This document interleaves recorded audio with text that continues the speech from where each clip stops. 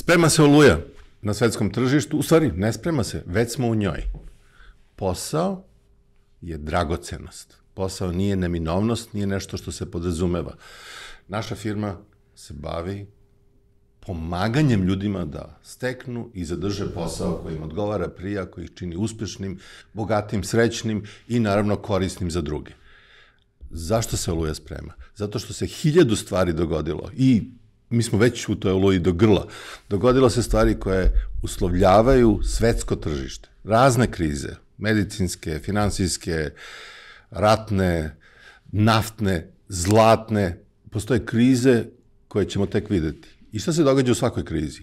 Postoji jedan jednostavni refleks, poslodavci smanjuju svoje rizike, smanjuju svoju izloženost, smanjuju e, gubitke, tako što refleksno očekuju da kada prepolove svoju radnu masu, kada otpuste pola ljudi, kada otpuste 3 4 svojih ljudi, sve u principu nastavi nekako da ide sa većim pritiskom iznutra, a jednog dana, kada sve bude u redu, kada budemo happy, kada tržište bude savršeno, tada ćemo ponovo zaposliti te ljude. Danas ćemo pričati o pet jednostavnih stvari koje će pomoći, ne garantujemo, ali pomoći će definitivno ozbiljno će pomoći da vi ne budete danas otpušteni.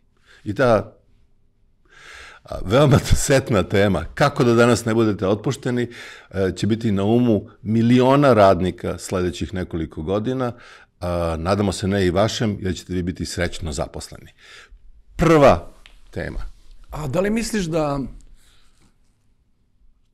u zadnjih nekoliko godina je mnogo više pritisak na radna mesta u smislu da se više traže, nego da je strah od otpuštanja. Možda pre 20-30 godina su se ljudi plašili od otpuštanja, a sada se poslodavci plaše da će ljudi otići.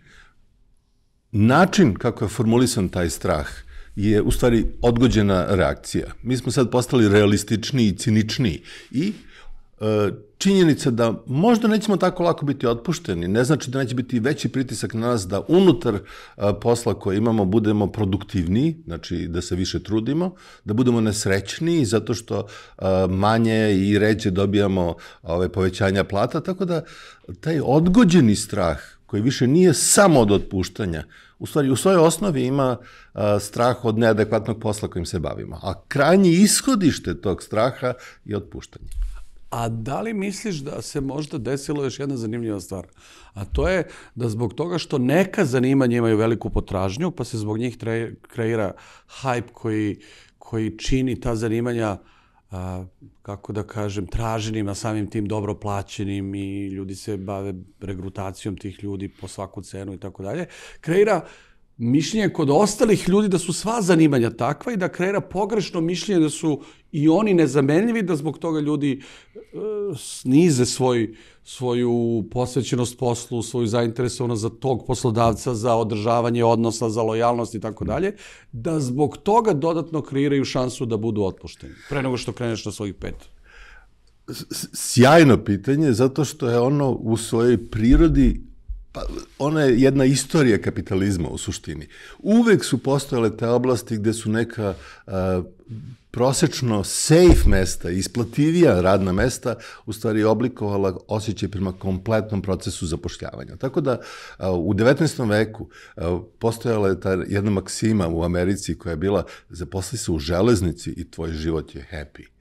I sad, danas ne možemo da zamislimo uh, kako smo stigli do železnice kada ima 500.000 drugih zanimljivih i probitačnih zanimanja, ali je činjenica da se to menja i da današnja aura uh, sigurnosti, uh, definisanja kvaliteta kroz pojedina veoma dinamična i zanimljiva ove, radna mesta se ne preliva ravnomerno na ostatak ove populacije. Drugim rečima, bit će još promena i u svakoj od njih biće gubitnika i dobitnika. Oni koji, na primjer, danas se smatra izuzetno safe mestom da budete software developer, da budete neko ko razvije software i to je, to je sočno, bogato, izazovno mesto. Sutradan već imat ćemo podelu po generacijama software developera, neki koji koriste e, prethodno etablirane programske jezike i neki koji komuniciraju sa veštačkom inteligencijom da bi stvorili zanimljive i potpuno inovativne oblike ovaj, interaktivnog IT-a. Tako da čak i u tim izuzetno vrednovanim čitavim kategorijama zaposlenja doći će do polarizacije. I opet će se pojaviti nesigurnost. Opet će biti šta da učinite danas povrh svojih tehničkih znanja u bilo kojoj oblasti da budete sigurni. Tih pet tema koje danas želimo da podelimo sa vama su jednostavne i očigledne. Pre nego što ih izgovorim, reći vam da sam učestvovao na jednom okruglom stolu u Las Vegasu pre mnogo godina, da je jedan moj vickasti kolega ovako definisao ovaj, način da budete sigurni u svom poslu. On je želeo da bude vickast. Znaš ko si. Ako me gledaš, seti se ovoga, budi posramljen. On je rekao, hej, pa to je dosta jednostavno, zašto bismo raspravljali o tome? A, samo budite jako, jako, jako dobri onome što radite i sigurni ste na poslu. I a, nema više šta da dodamo, možemo da pređemo na druge teme koje su mnogo zanimljivije, pa sad je razne dosadne stvari otvorio. Ja ću vam reći, to je nekada možda bilo istina. Danas, kada svaka razumna individua radi a, cost effects i cost benefits i ovaj, cost results analizu koja kaže možete imati najboljeg radnika na svetu, ako ne možete da ga iskoristite, ako ne možete da sa njim nešto uradite, vi ste u suštini napravili pogrešnu investiciju. Tako da, čak i ako ste savršeni onome što radite, to ne znači da nećete biti nesigurni na svom poslu. Ok, možda ćete naći lako drugi posao jer ste toliko dobri u tome što radite, ali to nije dovoljno. Pet stvari jedna, prva, najvažnija i najmekša po svojoj strukturi, najfantastičnija, entuzijazam. Oni od vas koji mogu da iskažu entuzijazam u bilo kojem poslu kojim se bave, duboku investiranost, energiju, posvećenost i prisutnost u tom poslu, oni već tada su korak ispred svih ostalih ljudi koji prilično dobro rade ono što rade, ali nisu viđeni kao neko ko je potpuno uključen. Ima ta jedna divna i žestoko zloupotrebljavana fraza lean in. Ti koji su baš prisutni, koji su baš investirani, baš, baš odaju auru, tu jednu energiju posvećenosti. I nisam slučajno iskoristio te mistične reči, aura, energija, upravo se na to svodi. Da vi kada pogledate kroz grupu od 10, 15, 20 profesionalaca, vi imate senzore, svako od nas, od iskusnih profesionalnih ljudi, primetit će kada je neko energiziran, kada sedi na ivici stolice, kada je, i naravno to je često zlopotrebljavana e, vrsta izraza, proaktivan. Šta znači proaktivan? Pa upravo ovo znači, da ste spremni i raspoloženi da nasrnete na neku temu, na neki izazov, da je obradite, sažvaćete sa njom, učinite nešto korisno i kvalitetno. I gled čuda, to je dobro i za grupu, tim, kompaniju i sve koje predstavljate. Entuzijazam ne može da se glumi, upotrebio bih težu reč nego gluma, ali budimo pristojni, ne može da se glumi, ne može da se folira, ne može da se samo simbolički nagovesti, ne može da se prođe kroz 4, 5, 6, 10 formalnih uh, elemenata i tačkica koje ga čine, on je autentičan, on dolazi iz suštine vašeg stava i suštine vašeg profesionalnog bića. Može da se vežba i može da se u njega investira i može da se uči o njemu, kako se iskazuje, ali ne može da se glumi. Ljudi koji primete iskreno entuzijastičnu osobu žele da budu sa njom u timu, žele da sa njom rade, pa čak i ako nije najsavršeniji profesionalac u oblasti kojom se bavi. Entuzijazam je magična stvar. On ne može da zameni neka veoma konkretna znanja, ali može da zameni jako puno perifernih elemenata koji zaokružuju ukupnu vrednost vas u očima nekoga ko vas zapošljava. Prema tome, ponovit ću, entuzijazam, magična kategorija. Puno donosi, težak je možda za ostvariti, ali kad ga jedan put imate, kad imate taj osjećaj da ste na pravom putu, bit će vam lako da u njega dalje investirate i bit će vam lako da zračite zračit ćete entuzijazam i svi oko vas će to znati. Prema tome, prva, bitna, mekana, ali veoma, veoma bogata kategorija entuzijazam. Druga, pomalo provokativna, je da nemate ni jednu očiglednu vidljivu manu. Čekajte, kakva je to vrsta angažmana? Ako, svako od nas ima mane. Ja imam mane, vi imate mane. Svaki profesionalac, najbolji profesionalci u svojim oblastima imaju neke mane.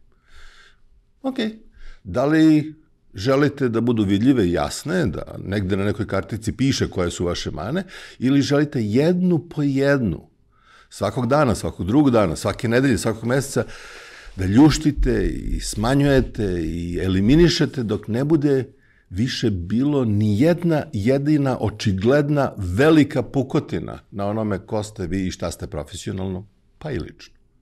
Jel želite to? Morate da radite na tome.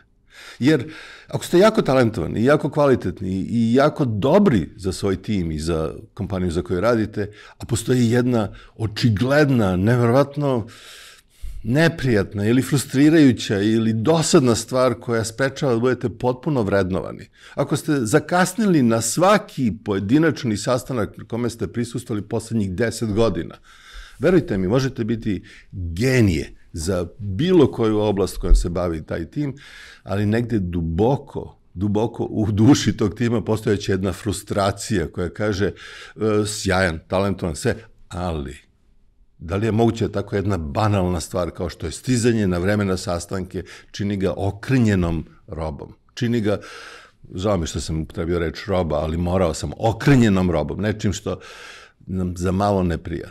Ta ideja da budete usaglašeni sa sobom i da se peglate i dopunjujete i usavršavate, dorađujete, da izbegnete postojanje tih pukotina je značajan signal bilo kojem poslodavcu, bilo kojem timu, bilo kojem menadžeru gde idu vaše investicije. Ne samo u status quo, ne samo u opstajanje, ne samo u iskorišćavanje onog što imate, nego u razradu, dopunjavanje, nadogradnju svega što je njima potrebno, a to su vaši centralni kvaliteti.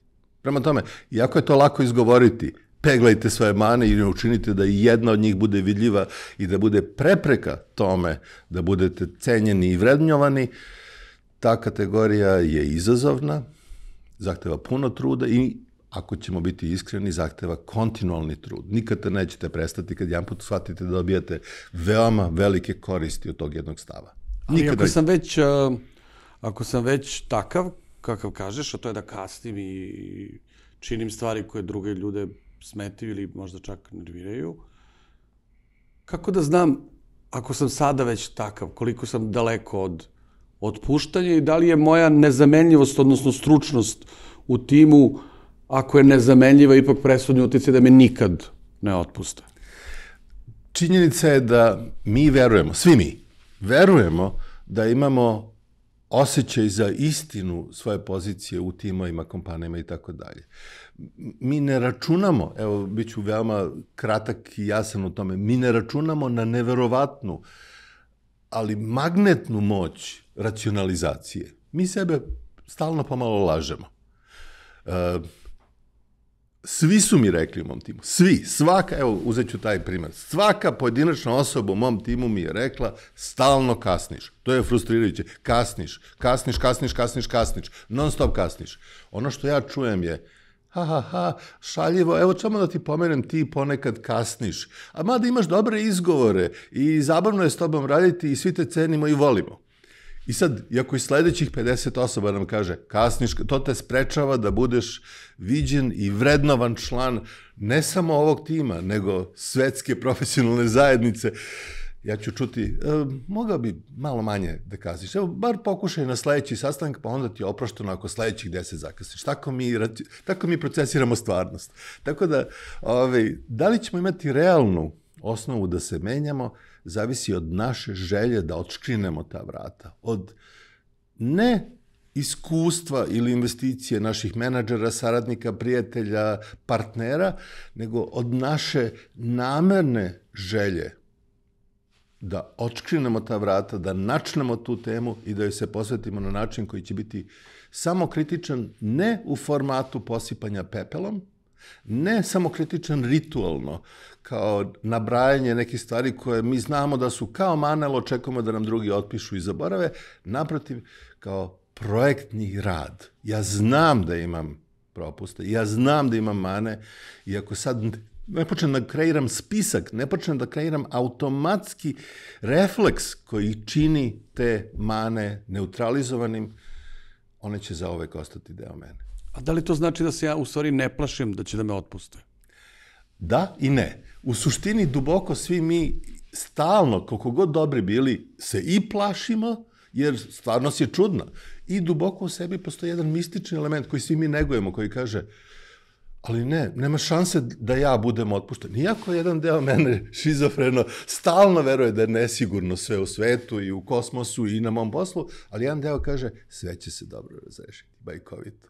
I ta dva dela, različiti su balansi, koliko, nije to 50-50 kod svakog od nas, ali um, to je apsolutno jedna mistična stvar. Kad ćemo dopustiti da jedno od ta dva glasića prevagne? Hoćeš da kažeš da ako ne shvatam da imam problem, onda svakako nisam na putu rešenja? Apsolutno. U jednoj rečenici zakucano. Jer to onda postaje dodatni problem koji brani druge probleme da budu dotaknuti, razrešeni, otvoreni i upitani.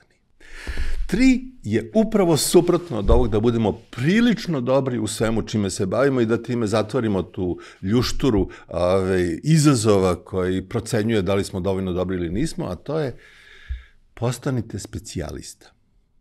Postanite u nečemu specijalista. Postanite izuzetni u nečemu. Postanite takvi da svi kada pomenu tu temu, taj kvalitet, kažu to je on ili ona ili oni. Postanite vrsta specijaliste koji ostaje u sećanju ljudima, svim ljudima, vašim saradnicima, vašim, vašim konkurentima, vašim šefovima i šefovima vaših šefova.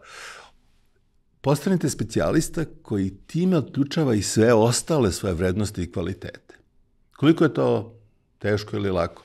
Teoretski odgovor bi bio da svako od nas može da nađe neku oblast u kojoj će se posvetiti, gde je već e, talentovan i gde, namjerno kažem ovako talentovan, jer talent je isto jedna diskutabilna tema, i onda se posveti i razvije i kaže, evo, izabrao sam jednu od 860 karakteristika profesionalca u timu u kome ja radim, u industriji u kojoj radim, ali nije samo ni to.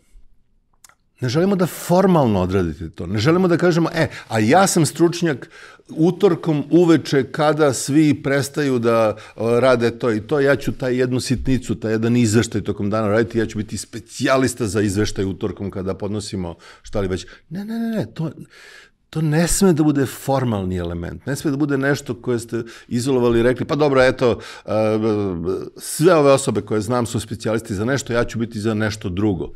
Imate li neku strast, imate li neku posjećenost, imate li neki uspeh, imate li nešto u čemu već osjećate da vam jako prija da dublje investirate i da više razvijate. To je prirodna oblast. To je, to je vaša strast. Biću pretenciozan. Razvijte svoju super moć. Vaša super moć može biti mala i jednostavna, može biti neverovatno provokativna i velika. Razvijte i to će vas pratiti ostatak vašeg profesionalnog života. A šta je moja supermoć? Tvoja supermoć su ova magična pitanja koja me podstiču da idem dalje u ovom trenutku. Jedna od supermoći su da dodaješ i nabacuješ upravo pravac u kome možemo da razvijamo dalje u našu priču. Pa zar to nije magično? Zar to ne bi svako poželeo? To je razrešenje velikih nedoumica. Broj četiri je jedna tema koja se lako izriče, lako se sugeriše, lako se prodaje. Komunikacija. Komunikacija je u osnovi svih efikasnih timova. Komunikacija je bitna za sve radne odnose. Komunikacija, komunikacija, komunikacija. Kad ste poslednji put čuli za komunikaciju? Juče. Bili ste na hiljadu treninga vezanih za bolju komunikaciju. Da li ste bolji komunikatori? Neki od vas, delimično da. Da li smo završili sa temom komunikacije? Nismo. Komunikacija je jedna od najprovokativnijih, najizgled, najočiglednijih tema našeg odraslog, profesionalnog života, ali opet do kraja nerazjašnjena, mutna, nepotpuna, nedovoljno sažvakana, nedovoljno upotrebljena, nedovoljno utilitarizovana, nedovoljno za nas korisna, zato što se uvek osjećamo blago zakinuti. Zahtev za vas. Zahtev. Nije molba, nije predlog, nije sugestija. Zahtev. komunicirajte sa svima o svemu što radite. Ne samo uspesima, ne samo glorifikovano da kažete taram, šta sam ja uradio i šta sam postigao. Pričajte sa članovima svog tima, pričajte sa ljudima koji nisu članovi vašeg tima, sa komšijama i klijentima, sa partnerima, sa konkurentima. Pričajte sa svojim direktorima, sa vlasnicima firmi. Mm, to deluje malo zastrašujuće. Kako da pričam? Šta da pričam? Kako misliš da pričam sa vlasnikom svoje firme? Uh, upravo ovako. Tako što ćete reći, žudim da podelim sa tobom nešto što mislim da bi ti bilo korisno da čuješ. Želim da čujem nešto, ne ove imperativne ove fraze koje sam ja upotrebio, ali naravno, samo otvorite kanal koji ima realističnu vrednost. Imate li o čemu da pričate? Pričajte. Bez da pričate sa svima i svakim o svemu što radite, vi ćete biti sena na radnom mestu. Čak i najuspešniji ljudi koji sede u svom ćošku i uspešno nešto rade i podrazumevaju da svi znaju da su oni uspešni, da svi znaju da su oni korisni, su u stvari samo onaj tihi čovečuljak ili čovečuljka koji sede u ćošku i nešto rade. Svi vaši rezultati nisu očigledni. Sva vaša investiranja i trud i pamet nisu očigledni. Komunikacija je ključ koji će otvoriti svima, kompletnom univerzumu, sve ono što jeste i što radite i što želite i možete i što nameravate i što vam je plan i ambicija. Što bi rekao Dino iz Višeg Bukera sa dubokim južnjačkim akcentom, odakle Miloš, Miloše, komuniciraj. komuniciraj. I taj imperativ, taj, taj naglašeni imperativ sa znakom uzvika iza te reči južnjačke iz Luizijane je ključan. To, to nije sugestija, nije, mogli biste više da kažete nekome ono čime se bavite. Ne, komuniciraj. Zar nije možda u nastavku onoga što si rekao o Luizijani, možda koren komuniciranja jezik, odnosno razumevanje, odnosno razumevanje jezika, a ne razumevanje ljudi. A to je da li mi pričamo isti jezik, iako pričamo isti jezik formalno. To je možda glavno pitanje u, u toj komunikaciji o kojoj pričaš. To je magično pitanje o kojem možemo pet, 10, 50 ovakvih seansi i susreta da snimimo. Postoji jedna drevna fraza, žargonska, italijanska, koja ide tradutore, traditore. Uh, vickasto je zato što je tradutore prevodilac, traditore izdajnik. I oni kad to izgovore u jednom dahu, kažu tradutore, traditore, oni u stvari tvrde ispravno da je svaki prevod jedna vrsta izdaje. Ali zašto? Zato što uvek se nešto suptilno izgubi, ali to ni na koji način ne poništava potrebu, magično izrečenu, da pokušamo da prevedemo, da stalno prevodimo, da stalno dovodimo bliže i bliže i bliže do razumevanja naše ciljne grupe o čemu mi to pričamo i zašto i kako i koliko. Ali kako bi vlasnik firme i zaposleni znali da ne pričaju isti jezik kada sve što govore zvuči kao da pričaju isti jezik? E, reći ću ciničnu frazu. Od samog početka, ili ako smem da citiram e, genijalni film Shining, you have always been the caretaker.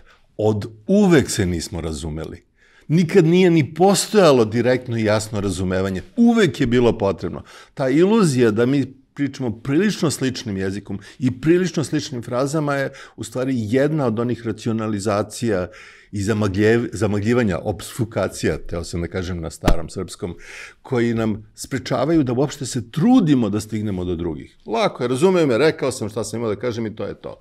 Strani jezik, domaći jezik, druga generacija, osobe koje su tehnička lica, a ja nisam, to su sve banalni izazovi. Prvi izazov je da li želiš da komuniciraš sa drugima? Da? Prevodi, non stop, svima, ljudima koji te savršeno razumeju, koji klimaju glavom i koji kažu savršeno te razumem, dodaj još jednu ilustraciju, dodaj još jednu malu sliku iz stvarnosti, dodaj još jedan mali prevod, još jedan nivo prevoda, neće biti previše. A, pa onda možemo da kažemo da zapravo umesto da budemo ljuti na klince i šikaniramo ih zbog upotrebe engleskog, mi treba da razumemo njihov vapaj da oni razumeju, u stvari da žele da budu razumeve, razumevani.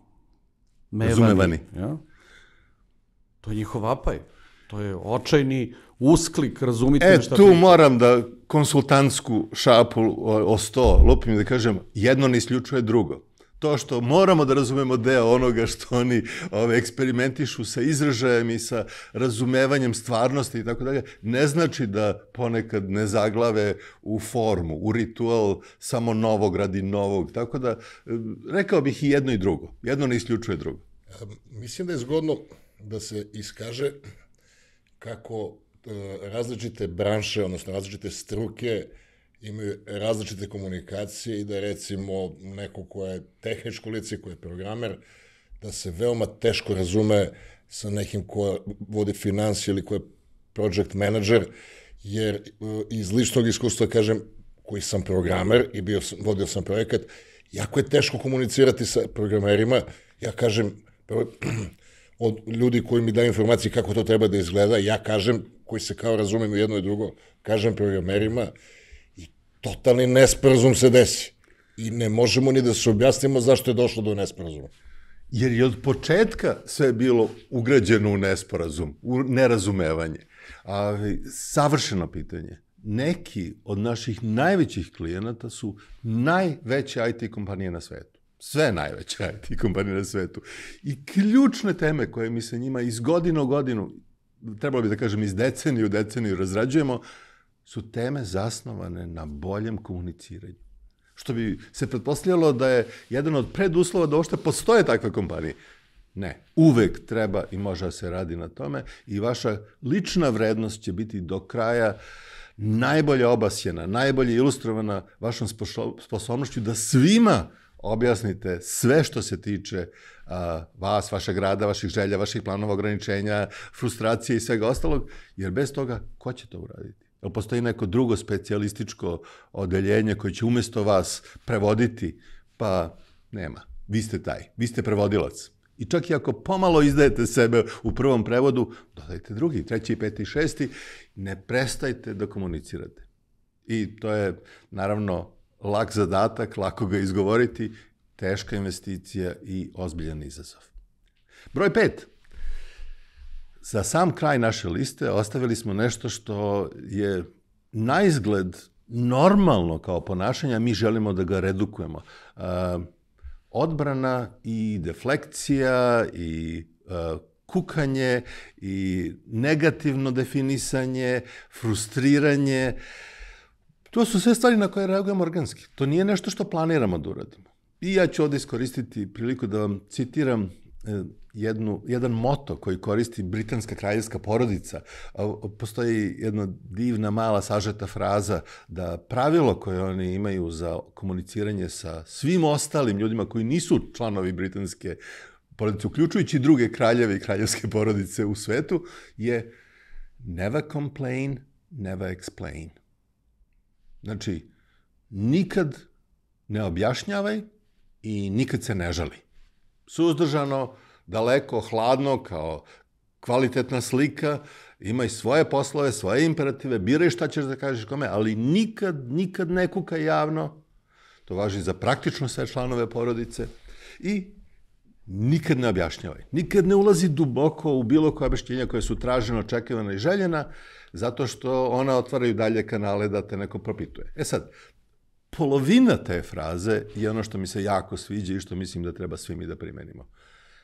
Never, never complain. Nikad ne kukaj. Ono, nik, nemoj da i objašnjavaš, never explain, Mislim da to možda funkcioniše samo za kraljevske porodice i taj deo ne bih prihvatao. Ali ovaj prvi je magičan savet. Nikad se ne žali, nikad ne kukaj, nikad ne budi odbramben. E, znate, čak i u našem jeziku postoji ta fraza gde ima dima, ima vatre. Ako se mnogo braniš od nečega, ako kukaš na nešto, to je jedina tema koja se raspravlja. Nisam spalio vikendicu, nisam spalio vikendicu, nisam spalio vikendicu. Koja je fraza o kojoj pričamo? O spaljivanju vikendice. Mojem spaljivanju. To što sam se 27 puta branio te ideje i govorio da je to nerazumno. Ne znam zašto sam taj primjer izabrao. A, razumem da ne treba da se žalim, ali kako da se ne žalim? Ne šta, nego kako. Razumem šta si rekao, ali kako da izvedem to? To je upravo najmagičnija transformacija ovde. I, I to je taj savršeni sledeći korak i to je tvoja super moć, da indukuješ ovaj, savršeni sledeći korak u raspravi. Ako se ne žalimo, ako ne definišemo stvarnost iz svoje perspektive, ostaće lažna istina, ostaće lažna verzija stvarnosti ako nikad je ne korigujemo tako što kažemo to nije istina, to ne može tako, to nije trebalo tako, to nije fair. To su sve neka kukanja. Šta možemo da ponuditi umesto njih? Šta je to što je konstruktivni element koji zamenjuje bilo šta što nam nalep, ali bukvalno nalepi na čelo nalepnicu na koje piše kuka non stop se žali, non stop nešto ne valja, uvek je neko drugi kriv. Šta je ono što možemo da ponuditi? Šta je to što nas zaista energizira i vodi?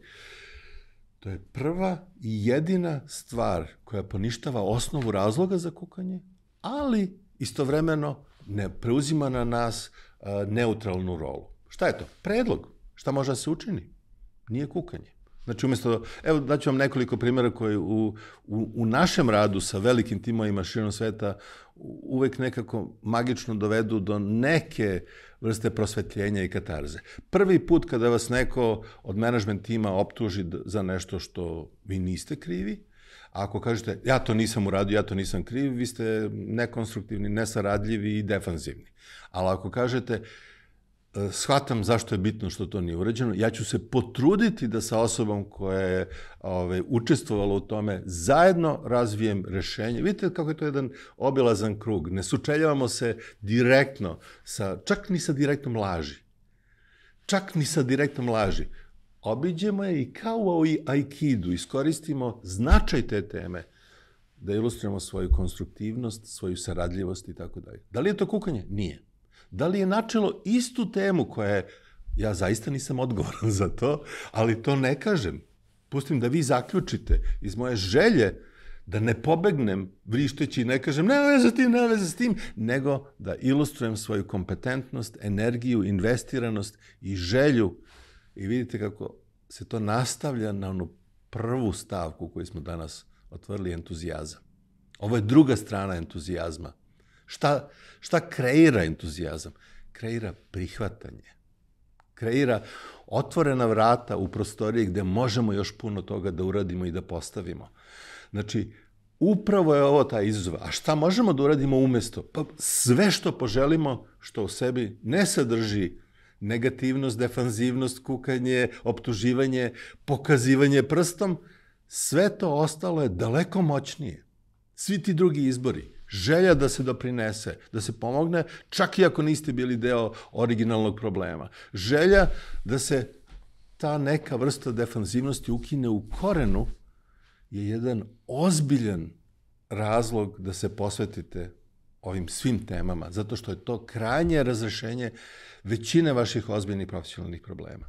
Ove, ja ću da ponudim sad jednu interaktivnu formu. Kaži mi bilo koju vrstu dinamičkog problema unutar timskog rada, unutar neke kompanije i ja ću ti odmah ponuditi bilo koju formu. Bilo kada, koju... mi se, kada mi se sviđa šefa, ona je žena. Ove, zašto samo kada je žena? Kaži slobodno kada mi se sviđa šef. Ja prihvatam širinu tvojih interesovanja, investicija u životu potpuno straight. Sviđa ti se šef. Pa to nije, zašto je to problem? Zašto je to problem? Zato što imam tremu. Super, imaš tremu, zašto je to problem? Pa zato što mi se sviđa. Zatvoren krug, je li tako? Ajmo ovako, kad čovjek ima tremu, ima neku ekstra energiju koja je pogrešno usmerena. Ona je usmerena na to da se osjećaš nesigurno u trenutku kad želiš nešto, kada žudiš za nečim, kada nešto planiraš da uradiš. A zar ne bi mogla ta dodatna energija da se nekako drugačije upotrebi? U šta? Pa u konkretne korake koji zaobilaze frustraciju i izazov tog trenutka, jer ako ti se baš puno sviđa, iako činjenica da je šef je glavni problem, postoji 50 razrešenja za to. Jedan je, daj ostavku. Nemoj da, nemoj da radiš više pod tom osobom. Po dva, kaži koliko ti je stalo do te osobe i pitaj, moli, traži, očekuj da ona objasni da li bi bila raspoložena da ona da ostavku da biste nastavili dijalog takav kakav jeste. Broj tri, možete i ti i osoba koja ti se sviđa da date ostavke. Čekaj, zašto samo pričamo o ostavkama? Ajmo da vidimo, zašto je problem da ona bude šef? Koje su to prethodne situacije kada takve stvari nisu funkcionisale? Da li su one ne, birokratski zapravo, određene? Da li ako kažem šefu da mi se sviđa, da li dižem sebi šansu da dobijem otkaz? Ja bih rekao da i ne, u klasičnom konsultantskom fo, onom formatu. Ove, ovaj, zašto bi povećavao sebi šansu time? Zato što se ti to istoj osobi sviđaš, ne sviđaš, zato što je to birokratski prestup. Hajde da raščalimo svaku od tih kategorija. Napravimo matricu koja kaže u slučaju da se ti toj osobi sviđaš, a i ona se tebi sviđa, a ne postoje birokratske prepreke, hej, zašto je to problem? Ti kažeš, pa nikad pre nije uspelo. Istorija, nikad pre nije uspelo. Statistika, kakve veze ide? Idemo dalje. Koji je sledeći veliki problem? A, različite smo nacije, pričamo različite jezik, imamo različite iskustva, ne volimo iste ljude u kompaniji. Pojedinačno, kompartmentalizacija svakog od tih mikroproblema daje nam šansu da svaki od njih razrešimo ili da evidentiramo kao nerazrešiv. To je upravo pristup ovaj, u širokoj matrici, što bi se reklo problem solvinga, ovaj, ove oblasti. Ali prva stvar je da ne budemo defensivni. Ali ja radim u firmi koja je telekomunikacijona i ima 1600 ljudi. I imam utisak da me otpuštaju tako što otpuštaju grupu ljudi. 70 od jednom. I da ja ništa što bih ja uradio lično ne utiče na to da li ću biti otpušten ili ne. Šta onda da radim? u, u takvom filskom i nemogućem scenariju. Naprimjer, zamisli da radiš u takvoj firmi i da je vlasnik te firme ušao u firmu sa, ove, dobro, nije bitno, komadom ove, ove, kupatila ili ove, komadom Ne, Glenn, Glenn, Glenn Rosti u glavi, priznam. Pokušavam da, da ne koristim konkretna imena, ali zamislimo takvu fiktivnu situaciju u kojoj je neko kupio firmu koja vredi milijarde dolara i o, rekao, večera svi koji nisu na poslu u 9.15, svi ste otpušteni. Svih 70% ljudi u firmi. Da li bi se osjećao više preplašenim, više izloženim, da li bi bio pažljiviji, da li bi bio sigurniji, nesigurniji, Hajmo ovako, hajmo da polarizujemo. Ona matrica koju sam sugerisao, naših mikroizazova, evo jedan izazov. Biće danas otpušteni svi ljudi koji u 9.15 uveče nisu u firmi. Ja sam osoba koja je stalno, pošto nema život, u 10 uveče u firmi, prema tome to, iako taj čitav izazov deluje potpuno iracionalno, ta konkretna matrica koja mi kaže ni izazov, ni izazov, ni izazov, ni izazov, jer ne popunjavam nijednu od tih kategorija, je u stvari za mene a, ok. Mislim, neću kažem ok, ali da, da, nije opasno. Da, da sam čak i otpušten u Twitteru i, i da sam napisao... Nisam masku, rekao Twitter, nisam rekao da Twitter. Sam rekao, da sam napisao masku, a, molim te nemoj da me otpustiš jer evo zašto deset razloga ne treba to da uradiš da bi me on vratio. Da, apsolutno, bez, bez ikakvih ograda, da i ne deset razloga. Da si napisao jedan lucidan, provokativan, čak ne validan razlog, nego dovoljno ilustrativan, dovoljno dovoljno ilustrativan za tvoju ličnost i bogatu i dubinu, ja ti garantujem, takva osoba koja ne mora da prati nikakva formalna birokratska razgrađivanja bi bila mnogo više zainteresovana nego da je došao tvoj advokat i rekao evo u ugovoru 20 razloga zašto ne možete da otpustite ovog gospodina. Da, bez ikakve sumnje. Krajnje jasno. I što je najbolje, to pitanje i ova tema divno ilustruju tu neophodnost da se ne branimo, ne deflektujemo, ne posipamo pepelom, ne kukamo, jer ni jedna od tih kategorija nije konstruktivna. I čak ako nas jednom, dva put u životu budu spasile čisto zbog socijalno-psiholoških elemenata, one nisu dobra taktika. Sve te kategorije zajedno su slabička taktika. Neiskazivanje vrednosti. One su upravo obrnuto. Ono čime smo se danas bavili kroz ovih pet tema je upravo suprotno od toga. Bildovanje, sklapanje dodatne vrednosti onog ko smo i šta smo. Predstavljanje nas kroz jedan proces koji je jako sličan oblikovanju tela. Koji je sličan vredno i pametno investiciji da će svaki pojedinačni element pasti na mesto, a ne samo ritual određene vrste vežbanja ili određeno zaklinjanje, lip service, što bi rekli dragi englezi. Drugim rečima, ovih pet elemenata, koliko god mekano delovali i očigledno i jasno su, predstavljaju veliki trud i veliki rad. Predstavljaju nešto gde naša ključna investicija će zasijeti samo kada shvatimo njihovu suštinu i prirodu. A priroda je da dodamo sebi snage i vrednosti i samim tim učinimo korisnijim druženje sa nama, rad sa nama i naše mesto nezamenjivi. Želim vam da se tako ponašate, želim vas da, želim da takve rezultate dobijete. Da budete ne samo sigurni, nego i konstruktivni, da se osjećate moćno onome što radite, da se niste samo odbranili da danas ne budete otpušteni, nego da ste dojačali razumevanje toga što vas čini vredni. Želim vam puno sreće. Zapravo, ovim kursom, ti osim što jačaš poziciju zapošljenog u firmi, ti poslodavcu kreiraš boljeg radnika. To nismo želi da bude u nadnaslovu, ali te dve stvari ne mogu jedna bez druge. Ne postoji trik, ne postoji, ne postoji rutina trikova gde vi prevarite poslodavca da ipak ostanete na poslu iako ste u, podprosečna vrsta a, vrednog saradnika. Ako to postoji, ja bih volao da vidim tu hipnozu koja do toga dovodi. Ili tako površna firma, ako je to takva firma, ja ne bih želao da radim u takvoj firmi, koja će me tako olako pustiti da bez ikakvih dodatnih vrednosti u njoj samo opstajem, samo da čekam penziju. Ja mislim da su ta vremena prošla i mislim da naša aktivna rola daje širi moć po tržištu rada. Znači da, apsolutno je to istina. Bez te investicije ni poslodavac neće razumeti zašto i kako nas ima i samim tim ovo je ovo je no-brainer, što bi rekli u žargonski, a u suštini nešto što je naša obaveza, a ne izbor. To bih rekao za sam kraj. Ovo je naša obaveza ovih pet tačaka. Nije samo koristan mali izbor, o, o, ovo je prva sledeća velika investicija koju možete da uradite. Čak i ako se ne osjećate da vam preti otpuštanje, ovo je solidan niz koji će ojačati i zaokružiti vrednost koju predstavljate.